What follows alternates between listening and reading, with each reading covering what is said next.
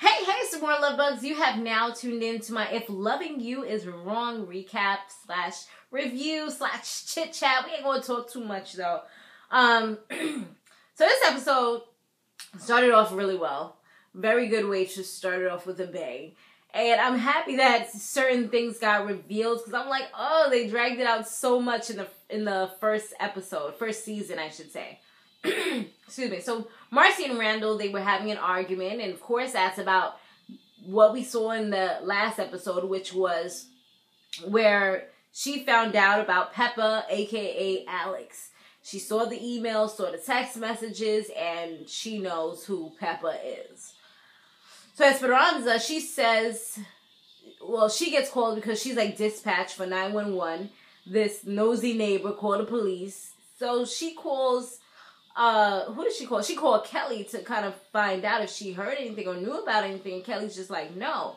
So she's like, you know what? I'm gonna call Brad so he can knock on the door. Kelly's like, I can do it. He's like, she's like, nah, I'm gonna let a guy do it. Don't start doing that whole women's rights and women power type of thing. Let's. I want him to do it. and Kelly's just like, well, you know, you did say the police are on their way, so let's just wait for them. And she's like, no, no, I want, I would like him to go now, so I'm gonna call him. She calls Brad, and Brad tells, once he talks to her, he tells um, Alex that there's some domestic disturbance being reported at Randall and Marcie's, and he's gonna go and check it out. And she's just like, oh, you know, you know, she she's starting to get worried, like, oh my god, what could this be about? He goes, knocks on the door, no one answers, but luckily his boy, the police officer Ed, and um, what is it? Lucius is the other guy's name. I can't remember, but I think that's his name. Natalie's husband or boyfriend, whatever. he goes with him. They knock on the door, and when Marcie, well, not even Marcie, it was Randall that opened. He tried to pretend like everything was okay. So they come in, and Marcie's like just sitting down crying. And they took him outside, and Ed stays with him, and Ed is just like, I mean, Ed stays with Marcie, and he's like, is everything okay? Is he putting his hands on you? And I'm like, Ed, out of all people, you the one that's gonna be asking her, like, what do you be doing to Esperanza? You be trying to intimidate her, you be trying to go hard on her. Did he don't he even be pushing her up sometimes and and threatening her? And he wanna come talking about if he did come on. That's like calling the freaking the the what the pot calling the kettle black or something like that. I always try to do this damn analogy and it will never come out right. But y'all know what I'm talking about. Like, how you to be saying that if you know what you're doing? Come on. So when they go to, um, when he's talking to her, she's like, she wants him to help her so she can leave because he's not allowing her to leave. She did say that she hit him, and he's like, well, you know, he could press charges if he wants. And she's like, how's he gonna press charges when he's the one that's taking everything from me? He's the one that's screwing the bee next door. And the first thought that comes to his mind when he thinks about the bee next door is, hmm, he must be screwing the black woman. Because, you know, the black woman is always the one to get blamed first. And plus, he's black, so why not screw another black woman? It would only make a little bit of sense right? She doesn't have a man, so yeah, makes makes pretty good sense for him to be doing that. As Marcie goes into the car, she looks at Alex as though if looks could kill, she would have thrown 20 daggers into her face and murdered her right in front of everyone. That's the way, she, that's the kind of stare that she gave her like that you know, one of those real quick. And Alex was like, she was so freaking ashamed, but didn't want to like really show it or anything like that. But Marcie left quietly, and I'm like, Marcie, just say it, girl. Why you not saying nothing? Tell what's going on. Everybody looking around, but they don't really know what's going on. Oh. So Brad, he ends up telling um, well, first Ed comes out and talks to Brad and tells him what's what he assumes is going on. He's like, "Yo, she said that he's sleeping with the bee next door, so you know he's pretty much sleeping with Kelly." And he's like, "Wow, like I can't believe it." You know, he's in a little bit of shock. Esperanza, she's in a little bit of shock when she finds out later on when he finally reveals it to her as well. And Natalie, she was just like she was going hard on her when they when they actually was talking about it like later on. And um Brad, he tells Alex, like, yo, Randall is sleeping with Kelly. And she's like, how do you know that? Like, what? Who told you this? And he was just like, well, they said that he's sleeping with the B next door, so it's Kelly. And she's like, wow, that's crazy. Like, I'm like, girl, this is the perfect time to kind of try to reveal something. But you know, when you're in a lie, you want to you want to keep it until the very end, until there's no way possible for you to hold on to that lie anymore. When it's something like that, you you don't want to reveal nothing. You're like maybe there's an you have you holding on to that little bit of hope that it is not gonna go out. That your cat is gonna stay in that bag, even if he scratches. You know he's trying, meow. He's trying to get out of the bag, but he is not coming out you're hoping. you are. So Kelly, she's getting all ready to, to go to Brad's surprise party.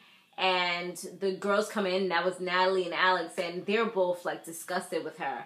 So they're like, you know, we have to confront her, talk to her, and see why she would do something like this, especially when whatever just happened, Travis just did what he did to her not too long ago when he cheated on her. So they're like scolding her, and she's like, "Wait, hold on, hold on, hold on. this is not about me." She was like, "Who told you this? Did Alex tell you this? Really?"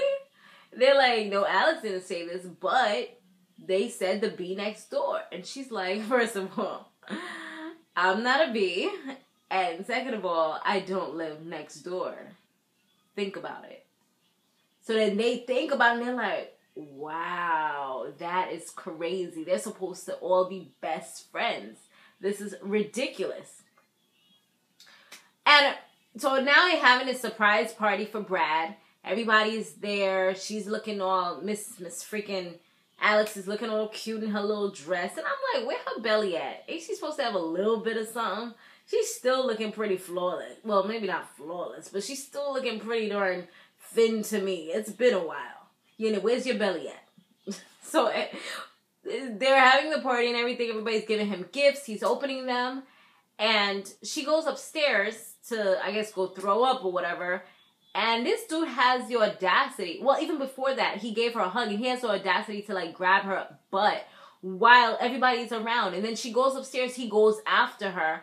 And when she's going back downstairs, he grabs her into one of the rooms and he's talking to her and trying to kiss her up. And I'm like, yo, that is disrespectful to the max. What are you doing, bro? Seriously? And Natalie sees and she kind of talks to him like, you need to get yourself in check. Like, you need to stop. Like, you're one of those kind of dudes that running after a white woman. What is it that you're doing? And they just have their little words or whatever. And she tells her to really be careful because she's going to end up getting herself caught and not put out there. And she's just like, I can't tell him. I have to keep this secret. When they go back downstairs, here comes a drunken Marcie. She and she she of the classy drunks, honey. Yes, you know why I say that because she was walking around, and I did this before. I actually walk around my little pimp glass everywhere I go. Yes, because I don't know if anybody's gonna always have a little glass for me and I don't be wanting to use them little red cups and stuff like that. So I have my own glass and I will wash my own glass when I'm done and take it back home. So she had her little glass and she had her little present in the other hand. She was drinking. She's like, Brad, happy birthday. I brought you a gift. You need to open it right now in front of everybody. Please, just open it right now. Then this dude, Randall, come and try to grab her up. She's like, Brad, make sure you open it right now. And then she's like, get off of me, get off. Like she's trying to fight him, but he's like so strong because you see the muscles, right? You know, them same muscles that Alex be rubbing up on takes her outside.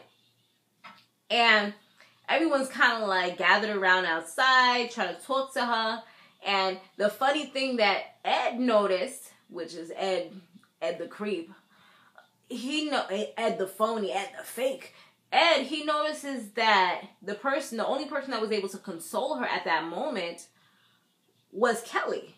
And he's like, wait, that doesn't make any sense. Why would she let Kelly talk to her? Because Kelly's like, come on, come on. And, you know, hugging her and taking her over to the side. She's like, why would she let Kelly take her? This doesn't make any sense if she's the one who's sleeping on.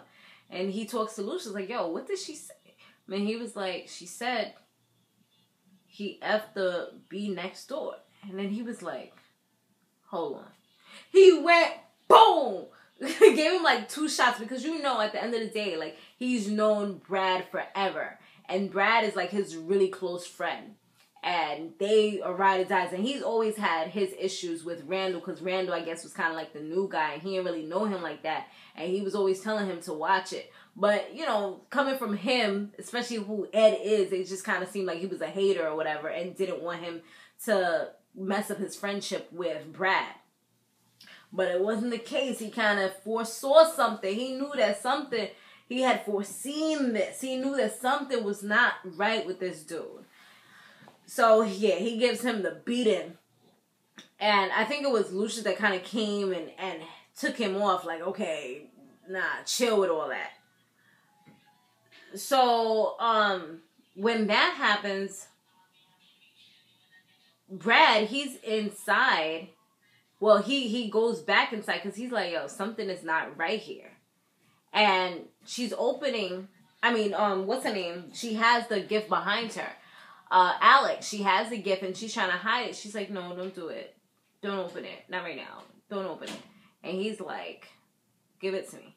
And she's like, no, no, no, please don't, don't open it. He's like, pass it to me now. Something is not right here. Give it to me. So when she finally hands it to him and he opens it up, it's all of the text messages and the emails them that they was doing back and forth. And it just reveals everything. It probably has her phone number, which he probably knows by heart. And it probably says her name is Peppa. And then it has the emails. He most likely knows her email address. So, yeah, the jig was pretty much up after that.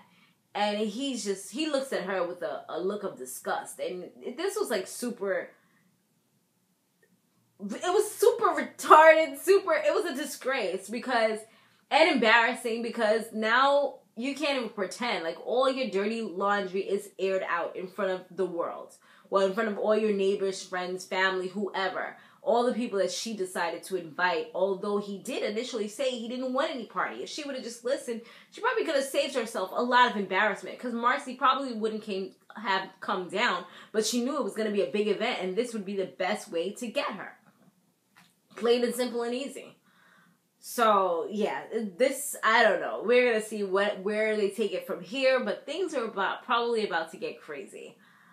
Um, and following that, Brad goes outside and he turns into a gangster now because he goes and he punches up freaking Randall as though the cops wasn't even standing there. Like he just started boom boom, went in his car and he was out.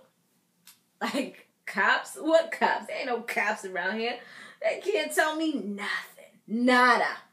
All right, guys. So let me know what you thought about this episode down below. I'm oh, Alex, what is wrong? You should have just told, girl. You know, messed up. And now he's probably gonna start questioning the the baby and the paternity of the baby and all this, and asking for timelines. It's about to get real messy real quick. Alright, guys. Thanks for watching. Be sure to stay fabulous, live free, and soar limitless. I will see you in the next one. Later.